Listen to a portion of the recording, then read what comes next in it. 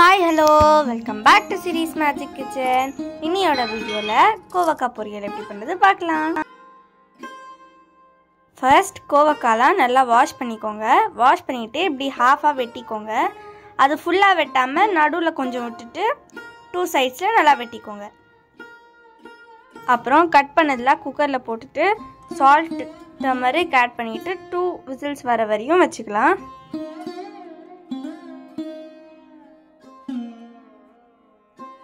இப்போ ஒரு பேனில் ஒரு கப் பேசின் பவுடர் போட்டுக்கோங்க.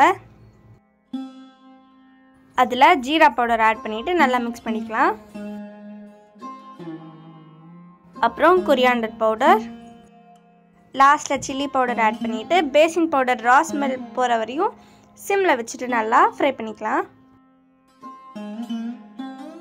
இப்போ இந்த பொடியை நம்ம கட் பண்ண கோவக்கால வந்துட்டு ஸ்டஃப் பண்ணிக்கோங்க.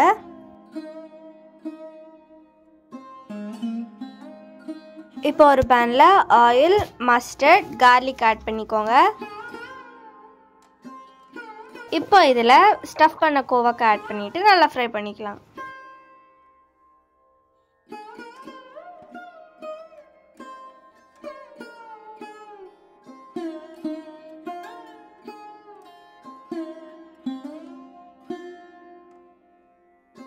அவ்வளோதான் ஈஸியான கோவக்காய் பொரியல் ரெடி